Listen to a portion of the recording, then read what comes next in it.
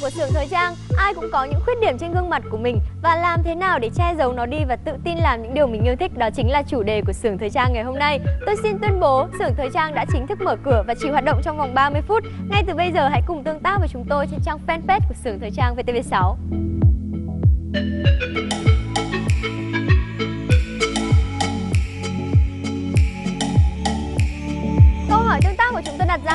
Đó chính là nếu như bạn có một khuyết điểm nào đó trên gương mặt của mình thì bạn sẽ làm gì? Đáp án thứ nhất là luôn luôn tìm cách che giấu nó đi và đáp án thứ hai là ăn mặc thật phong cách để người khác không chú ý vào nó nữa. Ngay từ bây giờ, hãy gửi cho chúng tôi những ý kiến của bạn trên trang fanpage của xưởng thời trang nhé. Bây giờ thì hãy cùng gặp gỡ với những giám đốc sáng tạo của chúng tôi ngày hôm nay. Đầu tiên là chuyên gia trang điểm Cao Tuấn Đạt. Chuyên gia đào tạo catwalk Trương Tùng Lan. Và biên tập viên thời trang Tôn Hiểu Anh. Câu hỏi tương tác của chúng tôi đặt ra ngày hôm nay là nếu như có một khuyết điểm nào đó trên gương mặt của mình thì các bạn sẽ làm gì? Và bây giờ thì những giám đốc sáng tạo của chúng ta, các anh chị có nhận thấy là trên gương mặt của mình có một khuyết điểm nào đó không ạ? ai cũng sẽ tìm ra cho mình một khuyết điểm gì đó ở không những là gương mặt, chứ còn kể cả cơ thể nữa và hôm nay chúng ta nói nhiều về gương mặt bởi vì là, ví dụ như là tôi, mỗi lần nhìn vào gương thì tôi lại ước ao là cái mũi của mình cao lên thêm tí nữa ở răng của mình phải trắng bóc lên nữa hơn nhưng mà ừ, nói thật là một phần là cũng sợ đau nên đâm ra chả không tính đến giải pháp là giải phẫu thẩm mỹ hay là uh, trang điểm hay là làm cái gì đấy để nó quá.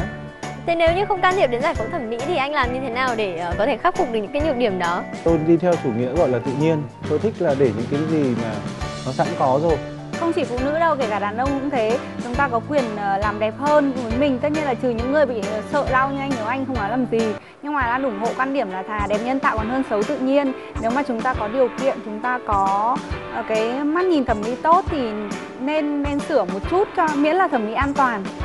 Thế nhưng với những bạn trẻ mà các bạn ấy không có điều kiện để làm việc đó thì uh, cái việc là chọn cho mình một cái lối trang điểm như thế nào thì mình nghĩ cũng là một cách để có thể giảm thiểu tối đa những khuyết điểm trên gương mặt. Uh, chuyên gia trang điểm Cao Tuấn Đạt ạ. trang điểm thì cũng là một cái rất là tốt để mà che khuyết điểm trên khuôn mặt ví dụ như là mắt bạn đang một mí có thể làm lên hai mí hoặc là mũi bạn có thể không can nhưng đánh khối đánh uh, highlight làm sao để cho mũi nó cao lên cũng là một cách rất là tốt. Cái mỹ phẩm kia nó chỉ là lừa bằng hình ảnh, lừa thị giác thôi. Còn về ngoài- ngoài trực tiếp thì thực sự là nó không có những cái xương như thế. Mà vẽ lên là nhiều khi vẽ nhiều quá thì nó sẽ bị giả. Thà mình làm lên một tí xong mình make up theo kiểu tự nhiên thì nó sẽ tự nhiên hơn. Tất cả những giám đốc sáng tạo của chúng ta thì đều ờ, không quá là ủng hộ việc là giải phẫu thẩm mỹ nhưng mà miễn đó là một phương pháp thẩm mỹ an toàn và có thể khiến cho mình khắc phục được những khuyết điểm trên gương mặt và làm cho mình đẹp hơn đúng không ạ? Thì cái điều đó là cũng cũng nên thử bởi vì ai cũng muốn rằng là mình đẹp hơn, mình hoàn hảo hơn. Và nhân vật của xưởng thời trang ngày hôm nay cũng vậy, bạn ấy cũng có những khuyết điểm riêng của mình trên gương mặt. Và làm như thế nào đó để có thể khắc phục được nó để bạn ấy có thể tự tin hơn trong cuộc sống đó chính là lý do vì sao bạn ấy tìm đến xưởng thời trang của chúng tôi ngày hôm nay. Và bây giờ thì hãy cùng đến với nhân vật của chúng ta 감사합니다.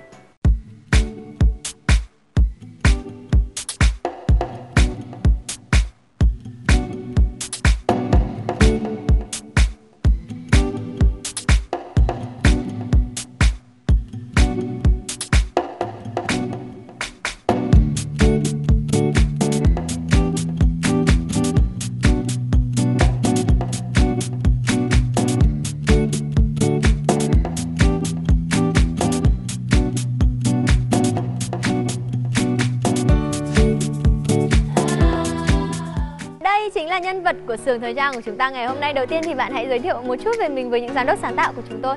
Em tên là Nguyễn Thị Quyền và hiện em đang là sinh viên của Học viện Tài chính ạ. Ngày hôm nay thì ờ, Quyền đến với xưởng thời trang của chúng tôi, bạn mong muốn tìm thấy điều gì ở đây? À, hôm nay em đến với Sưởng Thời trang thì rất mong muốn là cả à, Sưởng Thời trang có thể giúp cho em cảm thấy là ừm, tự tin hơn trong cuộc sống và có thể là ừm, làm cho em tức là xinh đẹp hơn và ờ, bản thân mình cũng ờ, đỡ mặc cảm hơn về cái ờ, khuyết điểm trên khuôn mặt của mình ạ. Hãy chia sẻ với chúng tôi rằng là tự bản thân bạn cảm thấy là bạn đang có khuyết điểm gì trên gương mặt nhỉ? Trên mặt em thì cũng khá là nhiều vết sẹo. Thì sẹo lõm này của em là ừm, hình thành từ khá là lâu rồi. Tức là từ khi em còn rất là bé theo em thì cũng bằng tuổi đời của em hiện tại ạ hồi bé bị phóng xạ thì ờ, ờ, cũng không hiểu vì sao mà tức là cũng không có điều kiện với lại bản thân cũng không cũng do ờ, duyên số hay thế nào đấy mà chỉ khuôn mặt của em thì để lại rất là nhiều sẹo và đến bây giờ thì vẫn chưa khắc phục được và để lại sẹo khá là khá là sâu ạ ra đường thì mọi người vẫn hay chú ý vào những vết sẹo của bạn hay sao? Hay mọi người hay hỏi về nó à? hay sao mà bạn cảm thấy tự ti? khi mà em mới lên Hà Nội uh, học tập và sinh sống ấy ạ thì cũng khá là nhiều người khi mà mới quen biết ấy đều để ý đến uh, đến vết sẹo của em và bản thân mình tức là bản thân nhiều lúc cũng không suy nghĩ không suy nghĩ nhiều nhưng mà nhiều người hỏi thì nhiều lúc cũng cảm thấy tự ti và hơi mặc cảm một chút ạ và bạn cảm thấy buồn vì điều đó. À, ngày hôm nay thì bạn đến với chúng tôi và bạn mong muốn là khắc phục cái khuyết điểm đó những cái vết sẹo đó trên gương mặt của mình. Vậy thì bây giờ hãy cùng lắng nghe những giám đốc sáng tạo của chúng tôi ấn tượng đầu tiên khi mà họ nhìn thấy bạn là gì nhé tôi muốn hỏi bạn kỹ thêm câu chuyện về vết sẹo bởi vì là nếu mà bạn phải nói được hết ra thì bọn tôi mới tìm được cách để làm sao khắc phục được cho bạn. Tôi nghĩ nó không phải là một thứ quá căng thẳng mà tại sao bạn luôn luôn rất là nặng lòng với nó? Bạn có thể kể câu chuyện kỹ hơn được không? Em thực sự em cũng không không không biết nhiều nhưng mà có nghe mẹ em kể thì thỉnh thoảng là có những uh, ai mà hỏi thăm. Uh, đến nhà thì đều hỏi thăm và nhìn thấy con gái thì bảo à con gái mà không có vết sẹo thì cũng sinh lên biết mấy. Thì những lúc như thế mà khi khách về rồi thì mẹ em chỉ nói một câu là uh, giá như ngày xưa mà mẹ chăm con tốt hơn có thể là uh, bôi nghệ cho con nhiều hơn hay là chăm sóc cho con. Thì bây giờ có lẽ là cũng không đến đến nỗi nào ấy ạ. Đấy là mẹ em còn em? Con gái thì ai cũng cần xinh đẹp đấy ạ và đầu tiên thì em nghĩ là khuôn mặt cũng là điều rất là quan trọng. Mà trong thời đại hiện nay thì em nghĩ là ngoại hình cũng, cũng quan trọng rồi. Và bản thân em thì với ngoại hình về hình thể của em cũng không được đẹp. Khuôn mặt em thì uh, dĩ thì em tự nhận thấy là cũng bình thường thôi ạ. Và bây giờ cũng khá là nhiều khuyết điểm như thế thì bản thân mình cảm thấy là nếu mà xét về ngoại hình thì hầu như là mình cảm thấy mình chưa có gì ạ. Nên cảm thấy khá là tự ti đối với nhiều người. Mà trong khi ở trong uh, môi trường học viện tài chính của em em cảm thấy rất là nhiều bạn xinh đẹp á. Bản thân mình tiếp xúc trong môi trường đấy ấy, cũng cảm thấy điều gì đó mình hơi mặc cảm một chút ạ. Theo em thì vết sẹo của em thì ở khoảng cách bao nhiêu xa thì mới có thể nhận ra được? Em cũng không rõ là khoảng cách bao nhiêu xa tại vì em thấy là khá là cũng khá là sâu và khá là nhiều ở bên hai hai bên má của em ạ. Bọn tôi ngồi đây bọn tôi chả nhìn thấy gì. Tôi ngồi đây bọn tôi không thấy hoàn toàn và tôi cũng đoán ra là cự ly à, từ chỗ bạn đứng cho tới chỗ những giám đốc sáng tạo của chúng tôi thì cũng hoàn toàn không hề nhìn thấy khuyết điểm đó trên gương mặt của bạn. Bởi vì uh, tôi đứng ở gần đây thì tôi mới có thể nhìn thấy nhưng thực ra đó là những cái vết sẹo rất là nhỏ. Nó không phải là vết sẹo gì đó quá lớn. Thay bằng việc là mình cứ chăm chăm để ý vào cái vết sẹo đó thì mình có thể chăm sóc cho da mình sáng hơn sạch hơn và khỏe hơn thì người ta đối diện người ta sẽ không thể chỉ nhìn mỗi cái vết sẹo trên mặt mình mà người ta nhìn cái thần thái khi em nói chuyện khi em cười khi em uh, uh, lúng liếng mắt ví dụ như thế. Em để tóc rất là dài rồi áo rất là dày cổ lọ ở trong trông em rất là bù rù đấy cái điều đấy tôi lại còn ấn tượng hơn ý là là em bảo em có sẹo hay là uh, cần khắc phục những nhược điểm trên gương mặt. Chứ đừng đổ tại là ờ ừ, mình không có nét rồi uh, mình thiếu tự tin rồi phải cần đến với trường thời trang để có thêm tự tin thì tôi nghĩ đấy là điều không.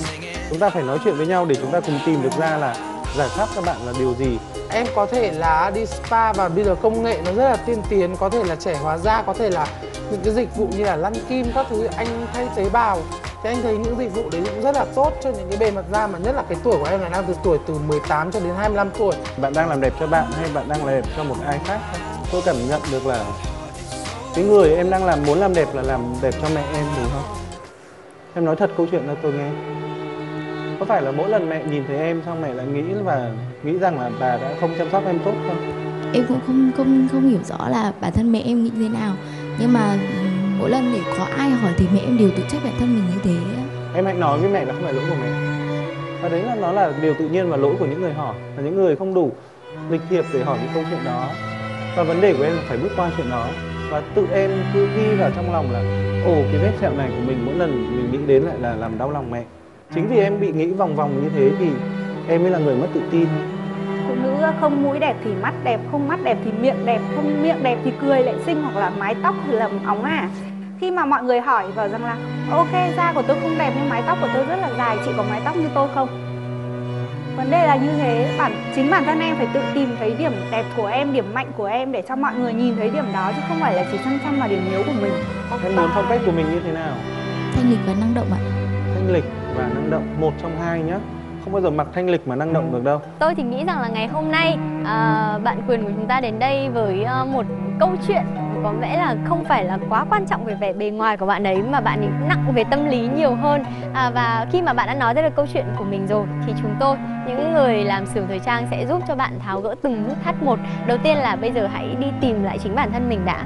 À, để bạn có được sự tự tin sau đó nếu bạn tự tin vào bản thân mình bạn sẽ giải quyết được hết tất cả những vấn đề mà ngày hôm nay bạn chia sẻ cùng với chúng tôi nhé. Và bây giờ thì hãy cùng đến với uh, uh, set đồ đầu tiên do chính những chuyên gia định hình phong cách của chúng tôi dành tặng cho bạn quyền và hãy cùng xem là nó thì mang một phong cách như thế nào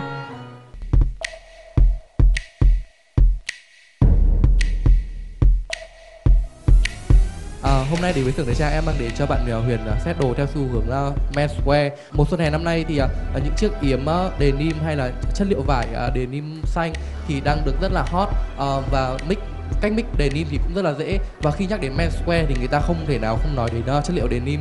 Uh, thì uh, với uh, bạn quyền hôm nay thì em được biết là bạn ấy có những điểm là về uh, da mặt của bạn ấy. Thì uh, em đã uh, dùng ngay cách ban đầu của chương trình đó là em sẽ mix cho bạn ấy một set đồ thật là đẹp. Uh, thật là cá tính để khi người ta nhìn vào thì người ta sẽ quên mất đi bạn ấy có nhược điểm.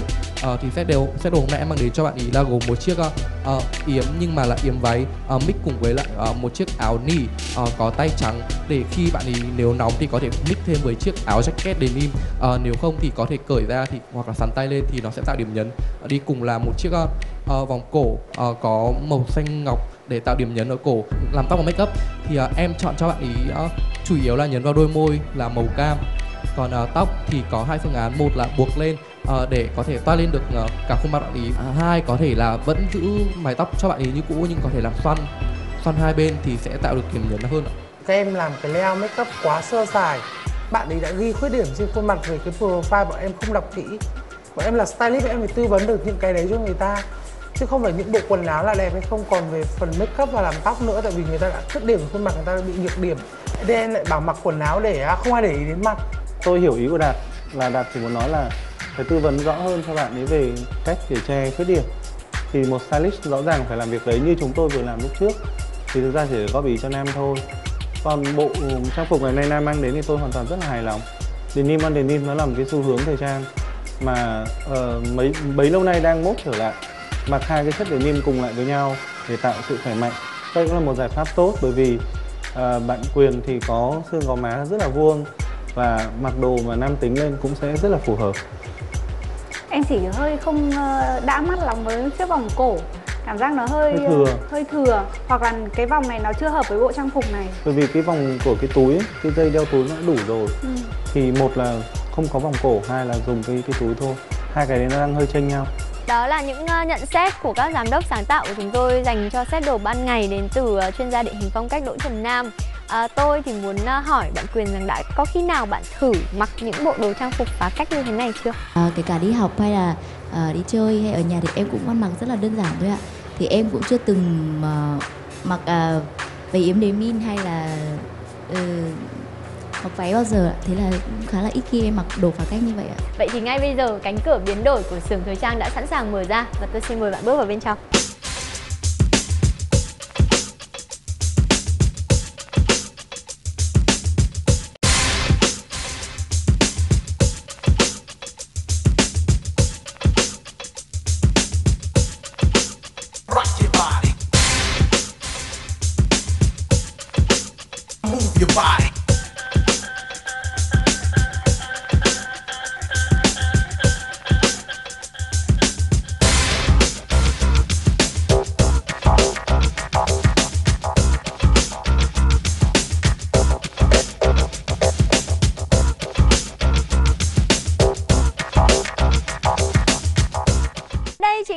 Đồ mà chuyên gia địa hình phong cách Đỗ Trần Nam uh, dành cho bạn Quyền ngày hôm nay. Khi mặc nó vào thì bạn cảm thấy như thế nào? Trông có khác lạ không? Khi mà mặc bộ đồ này em cảm thấy là một sự mới mẻ, một cảm hứng mới á. Tại vì em cũng chưa từng mặc những bộ đồ nào phá cách và mặc hay là mặc váy như bao giờ ạ. Bạn có cảm thấy thoải mái với nó không? Ờ, em cảm thấy rất là thoải mái ạ. Ừ. Còn các khán giả của xưởng thời trang, bạn cảm thấy rằng bộ đồ này, bộ trang phục này có hợp với bạn Quyền hay không thì cũng hãy chia sẻ ý kiến của mình trên trang fanpage của chúng tôi nhé. Bây giờ thì bạn đã sẵn sàng để nhìn lại hình ảnh của mình chưa? Mời bạn. Bạn thấy ờ, cô gái trong hình như thế nào? Em không nhận ra em luôn đấy ừ, Bạn không nhận ra bạn, có điểm gì khác nhỉ? Có lẽ là nhìn gọn gàng hơn một chút đấy ạ. Tại vì bình thường em cũng không quan tâm đến đầu tóc lắm. Bạn có nhìn thấy những uh, khuyết điểm của mình trên gương mặt nữa không? Em để ý nhiều hơn đối với bộ đồ em mặc hơn là đối với mặt của bản thân mình lúc này ạ và như vậy cũng chính là câu trả lời của chúng tôi đúng không? Khi mà bạn cảm thấy tự tin vào những gì mà bạn đang có thì những khuyết điểm trên gương mặt của bạn không còn là vấn đề nữa. Đây mới chỉ là trải nghiệm đầu tiên của bạn tại xưởng thời trang thôi. Tôi nghĩ rằng chúng ta đã đi được một phần ba chặng đường rồi. Bây giờ bạn đã cảm thấy tự tin hơn rất là nhiều rồi. Bạn uh, trở nên phóng khoáng hơn với chính bản thân mình và bây giờ thì hãy cùng đến với sự thay đổi tiếp theo của chúng tôi để xem rằng bạn ấy còn nhận được điều gì bất ngờ hơn nữa từ những chuyên gia định hình phong cách nhé.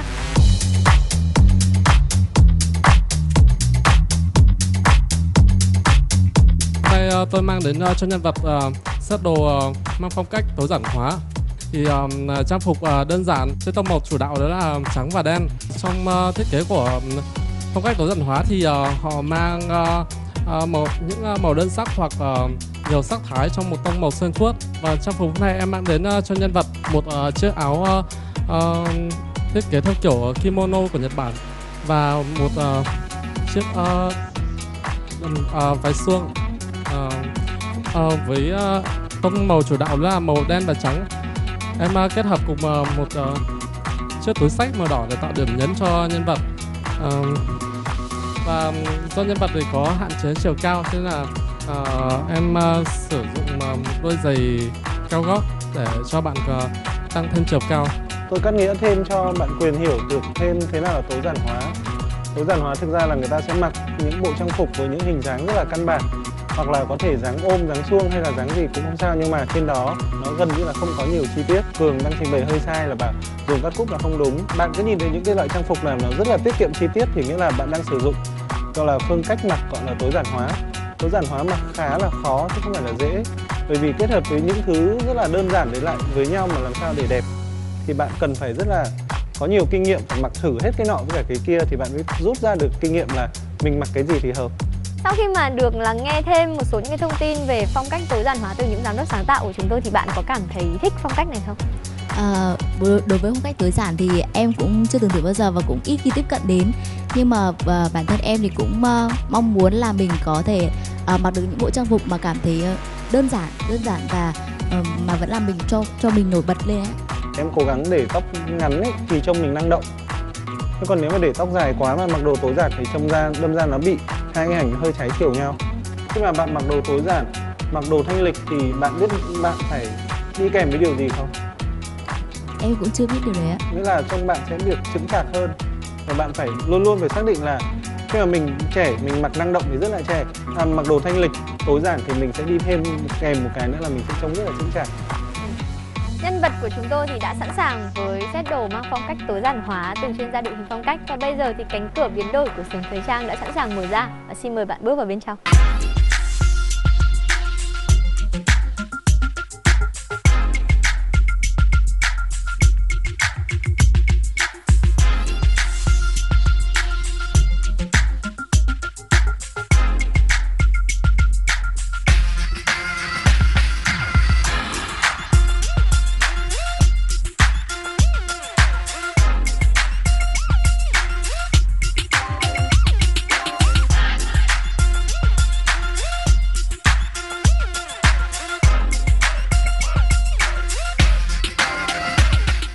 Và đây chính là set đồ buổi tối mà những chuyên gia định hình phong cách của chúng tôi chuẩn bị cho bạn. Bây giờ thì uh, tôi muốn lắng nghe ý kiến của những giám đốc sáng tạo ạ. Trông khác biệt hoàn toàn so với bộ đồ đầu tiên. tôi chỉ thấy là ví dụ tất cả mọi thứ nó uh, ngắn lên một chút nữa thì nó ổn với chiều cao của bạn hơn à, thực ra set đồ này đã chắc là đang dành cho một chiều cao tốt hơn Bây giờ thì bạn hãy cùng sẵn sàng và quay trở lại để nhìn hình ảnh của chính mình xin mời. So với bộ đồ đầu tiên thì như thế nào ạ? Lúc mà em mặc bộ trang phục này ấy, thì em cảm nhận là chắc là tại vì uh, mặc đi giày có gót với lại uh, tô son đỏ chắc là nhìn sẽ chín chắn hơn một tí.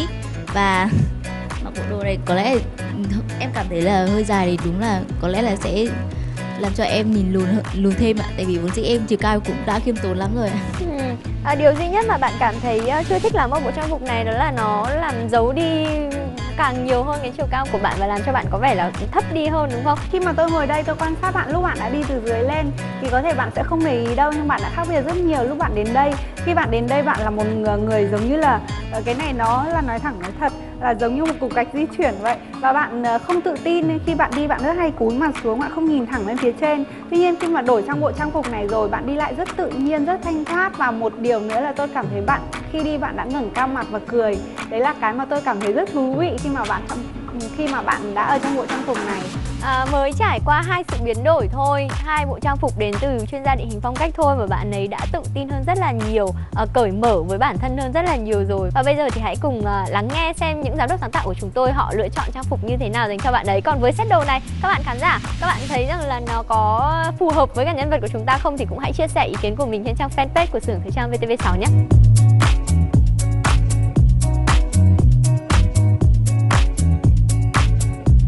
Bọn tôi biết là bạn không không tự tin với chiều cao của mình. Và bọn tôi khuyên bạn là khi mà mặc những bộ đồ mà có tính thanh lịch một chút, hoặc là những bộ đồ trẻ trung thì bạn nên chọn cái cái độ ngắn nó nó nó càng ngắn càng tốt.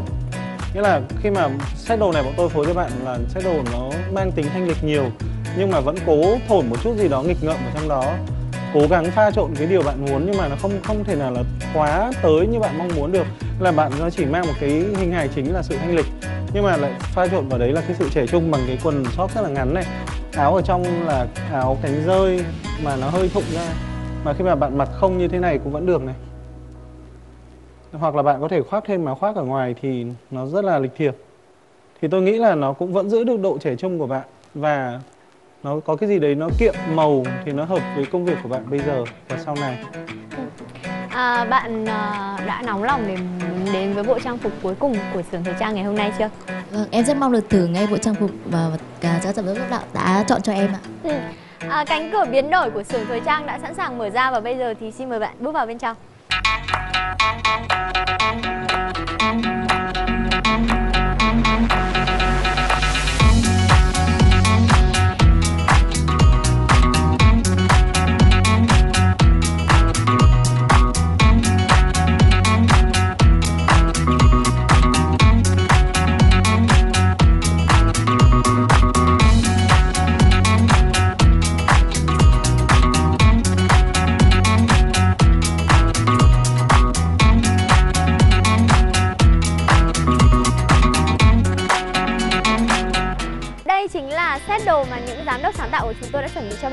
Ờ, đôi giày thấp hơn này một bộ trang phục có vẻ là hở bớt những chi tiết dườm già cầu kỳ trông đơn giản hơn rất là nhiều. Bạn cảm thấy như thế nào? Khi mà mặc nó vào người thì bạn tôi thấy bạn sải bước những bước đi rất là tự tin. Uh, em thì có cũng có thường xuyên mặc quần sóc và đối với bộ trang phục này uh, em thấy là các giám đốc sáng tạo uh, lựa chọn cho em thì em cảm thấy là mặc cũng khá là thoải mái. Và có lẽ là uh, vẫn là tạo cho em một nhìn có thể phong cách hơn ạ. Tôi thì thấy rằng là với ờ, bộ trang phục này, nó vừa phải so với bạn nó không quá cầu kỳ không quá phá cách nhưng mà vẫn đủ cái tiêu chí bạn đặt ra đó là thanh lịch này hoặc là năng động đúng không? Ờ, giám đốc sáng tạo tôn hiếu anh thì có nói rằng là không thể nào mà thanh lịch và năng động đi kèm với nhau được. Nhưng mà tôi thấy ở set đồ này thì bạn có cả hai điều đó vẫn vừa thanh lịch nhưng vẫn rất là hiện đại. À, đây chính là điều mà chúng tôi rất là mong muốn mang đến cho những nhân vật của xưởng thời trang. Và nếu như các bạn cảm thấy bộ trang phục này rất là hợp với bạn quyền thì cũng hãy chia sẻ ý kiến của mình trên trang fanpage của xưởng thời trang VTV6 nhé. Còn bây giờ thì tôi sẽ mang đến chiếc gương sự thật. Chắc chắn là bạn đang rất là nóng lòng muốn nhìn thấy hình ảnh của mình trong bộ trang phục này rồi. Khi tôi nói 3, 2, 1 Bạn hãy sẵn sàng để quay trở lại và ngắm nhìn mình trong chiếc gương sự thật nhé. 3, 2, 1 Xin mời bạn.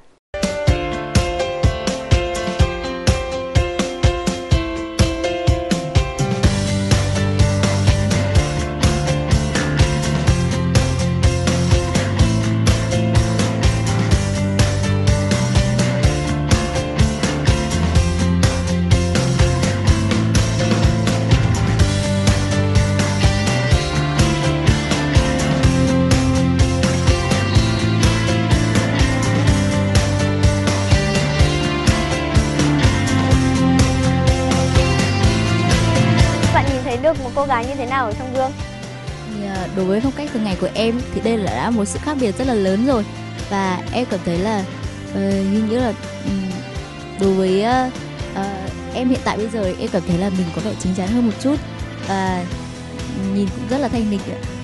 Và em thực sự, sự cảm ơn uh, chương trình thường ngày Sang đã cho em cơ hội để trải nghiệm với các một một số phong cách mà có lẽ em chưa từng thử bao giờ. Và em cảm thấy là em tự tin hơn ạ. Bây giờ thì hãy cùng với chúng tôi nhìn lại ba bộ trang phục mà ngày hôm nay bạn đã được những chuyên gia định hình phong cách cũng như là những giám đốc sáng tạo của chúng tôi chuẩn bị cho để thay đổi phong cách của mình. Và hãy nói cho chúng tôi biết rằng sau khi theo dõi ba bức hình đấy thì bạn sẽ chọn cho mình phong cách nào là phong cách uh, phù hợp với phong cách của mình nhất nhé. Trong ba bộ đồ này thì bạn cảm thấy là tự tin nhất, thoải mái nhất và cái bộ trang phục nào là đúng với phong cách mà bạn muốn hướng đến nhất?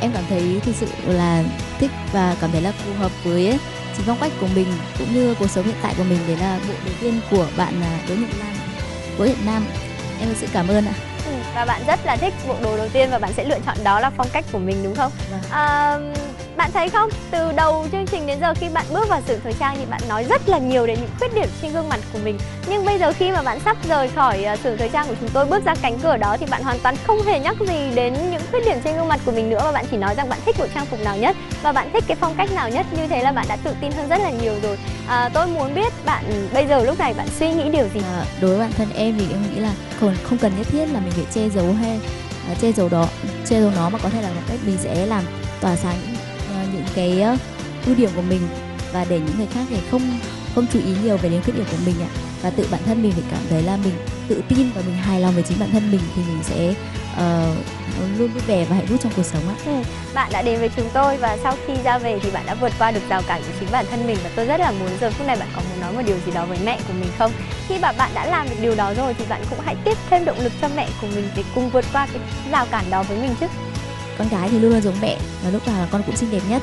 Mẹ đừng lo. Và chúng tôi cũng uh, mong muốn gửi đến cô một thông điệp đó chính là nếu như bạn ấy hoàn toàn tự tin vào vào gương mặt của bạn ấy và những ưu điểm của bạn ấy thì hoàn toàn những khuyết điểm khác không là vấn đề. Khi chúng ta nghĩ cái vấn đề đó là nhỏ thì nó sẽ là nhỏ và đừng bao giờ làm cho nó trở nên quá phức tạp hay nghiêm trọng hãy dùng những chính những ưu điểm của mình để khỏa lấp những khuyết điểm khác trên gương mặt cũng như là trên cơ thể của mình nhé. À, và để tự tin hơn trong cuộc sống đó chính là điều mà sưởng thời trang của chúng tôi ngày hôm nay muốn nói. Còn bây giờ thì xin chào và hẹn gặp lại. Tôi là thanh huyền của sưởng thời trang.